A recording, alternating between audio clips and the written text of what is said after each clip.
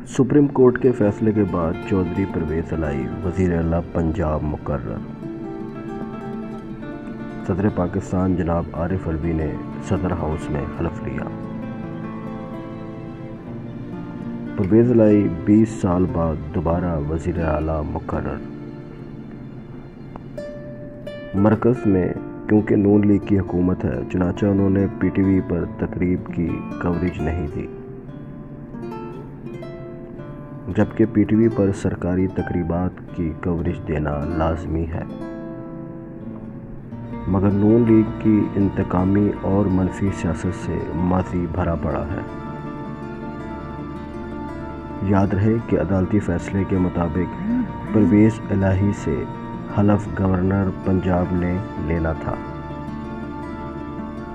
Governor Punjab की अदम मौजूदगी में हलफ सदर पाकिस्तान ने लेना था।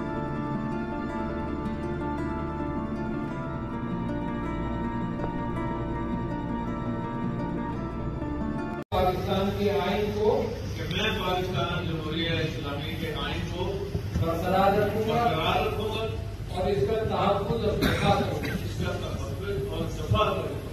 कि मैं हर हालत में मैं हर हालत में हर किस्म के लोगों के साथ हर किस्म के लोगों के साथ बिला खौफ और रियायत बिला खौफ और रियायत और बिला रगबत और इनाम और बिला रगबत और अनायत कानून के मुताबिक कानून इंसाफ करूँगा। इंसाफ करूँगा।